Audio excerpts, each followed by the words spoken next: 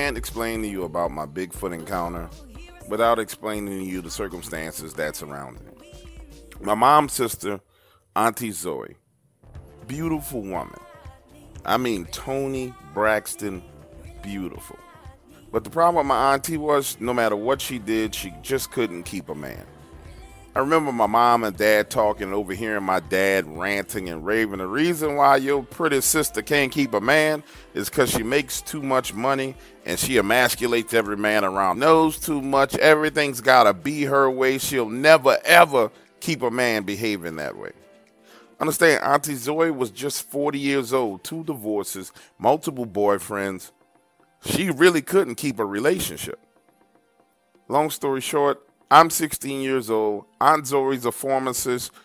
She literally works herself so much that she goes crazy. The poor woman is so bad off, she spends two and a half years inside the loony bin. Once finally out, Aunt Zoe packs up all her stuff, moves up to North Louisiana, right on the border of Arkansas. She told my mom that she couldn't stand being around people and she'd rather be alone in the woods. Now, time passes. I don't end up going to college immediately. I start working with my dad in his construction business. So it's a Friday evening. I'm on top of a roof doing an inspection when my dad calls me. Son, I need you to hurry home. Your mom is freaking out. She wants us to drive up and check on your Aunt Zoe. Keep in mind, I hadn't heard anything about Aunt Zoe for months. I had no idea what was going on with her. All I knew was that this lady had went crazy, and now all of a sudden, my father and I are driving three hours to go check on her. By the time we get to her property, it's dark outside. Pull up to her gate, hit a buzzer, and we realize that Aunt Zoe has bought a property so big that riding down the road to get to her house is like taking a journey through the freaking haunted woods.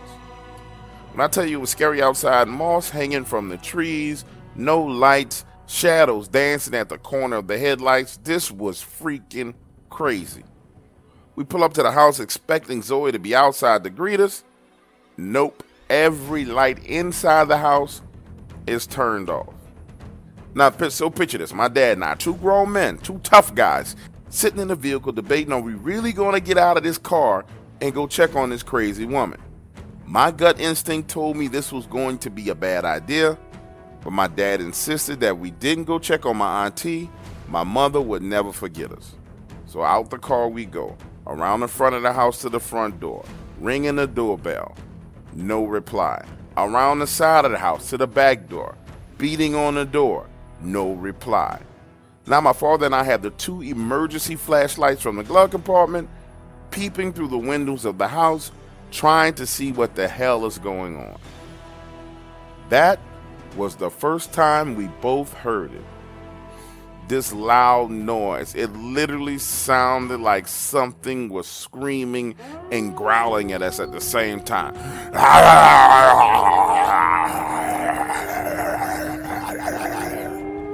Long, loud, nasty. And based on the volume of the sound, whatever this was, was pretty close by to us. And now we're panicking, starting to make bad decisions.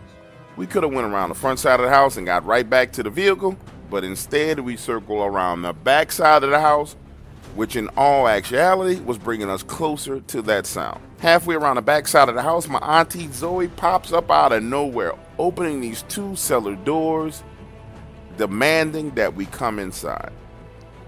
My father, tough guy, building contractor, I've seen him fight men twice his size and whoop their behinds. We're in the cellar and his hands are shaking. He looks at my auntie and says, Zoe, what the hell was that?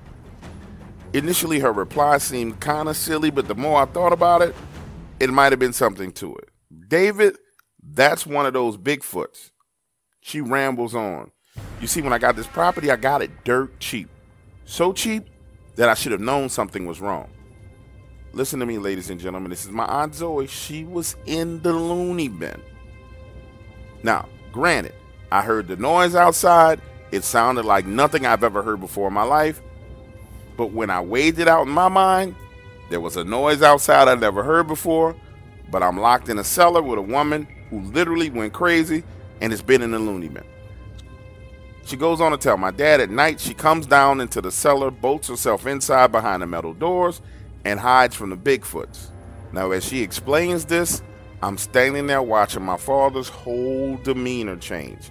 His hands stop shaking and they move to his hips. He starts tapping his right foot on the ground impatiently. And based on his body language, I'm starting to realize that he's feeling the exact same way I feel that this woman has gone crazy. More ramblings from her. The first time I saw one of them, I was stepping out of the shower naked, and one was staring at me through the window. But it's only gotten worse since then. Now they beat on the house, jiggle the doorknobs, and try to get in. And I have to give my dad credit for what he did next. Because gently he just posed one question to my auntie. If these creatures are on your property as you proclaim, why haven't you just gotten in your car and driven away? Zoe's eyes darted up, down, left, right, in all kinds of directions. You could see that she was carefully thinking about the words that were going to come out of her mouth next. Because they destroyed my Jeep, I cannot leave. Now, although it was dark out there, now keep in mind when we pulled up in that driveway, we parked our vehicle right behind her Jeep, and based on what I saw, and I didn't see the entire car at that time, but based on what I saw, it looked as if nothing was wrong with that vehicle. Now, dad is talking to her calmly again. Zoe, now I know it's pretty tough on you to be alone. The last time you end up spending this amount of time alone, you had to go see people to talk about it. I think we're going to need to get you some help, Zoe. We're going to get you some help and get you someone to talk to. Right there, when my father said that is when things went from kind of crazy to cuckoo for Cocoa Puffs crazy. Zoe turns around, opens this cabinet door, and pulls out a shotgun. Now that my father and I are locked in this basement, cellar, whatever the hell you want to call it, with my crazy auntie who has a shotgun. She looks at us and says, I'm not going out there at night, and neither are you. It's not safe. I'll give her credit. Although Zoe had this shotgun in her hand, it was pointed at the ground. She wasn't being 100% threatening with it, but I didn't feel comfortable with this crazy woman having a shotgun, so I started inching closer to her, my intentions to take it away from her. My father notices that I'm moving closer, and so he starts to distract her by waving his arms kind of wildly and being dramatic as he speaks, saying, I really find it hard to believe, Zoe, that there's something outside in those woods so threatening that you need to hide in the cellar. It just doesn't make any sense. Why don't you have any lights on? Why do you just didn't walk off the property? What's going on with you, Zoe? Imagine the scene. I'm closing in on her. My dad is distracting her. When we hear what sounds like a freaking dinosaur step on those metal cellar doors. Kaboom! Kaboom! Silence. Zoe whispers, See? I told you. You can't go out there at night. Listen to me. For the next 10 to 15 minutes, I felt like I was in a freaking Godzilla movie. Screams, growls, beating on the metal doors, beating on the side of the house that you can hear from upstairs. It was totally terrifying. I damn near pissed my pants. What's up, ladies and gentlemen? It's your boy Dark Waters coming back to you with another great story on Zoe and the Bigfoots. This one here is members only. If you're not a member, head on over and subscribe and join up and become a member. The price is $4.99 a month.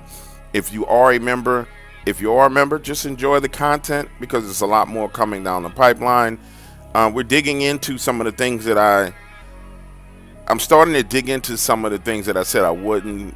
Technically crossing lines that I probably shouldn't, but at this point in time, really, who cares? Um, I've tried to reveal as much truth as I can without being a problem. But even when you do it the right way, there's still people who seem to have issues. So if we're gonna have issues, then we just gonna have freaking issues, man. And that's what it's gonna be. I, I've told people over and over and over again, I'm not the guy that you try to intimidate. I'm the guy that you talk to. And so intimidation just doesn't work with me. And I guess we just have to let the cats out the freaking bags. And that's all it is to it, baby. So keep tuning in when it comes to those particular stories. I'm gonna make sure that those stories everybody can hear. That's if you want to hear them, if you care to hear them. Uh, the way I see it is, over time, people will come to understand exactly the significance of what's being revealed to them. Uh, most people don't see things in the moment that it's going down. It takes them two, three, four years to figure out what the hell's going on because in the moment they're consumed with foolishness and lies, and that's what's going on with a lot of people. But anyway, head back over to iamdarkwaters.com, sign up, become a member. For those of you who are members, I appreciate you, I love you, and God bless you.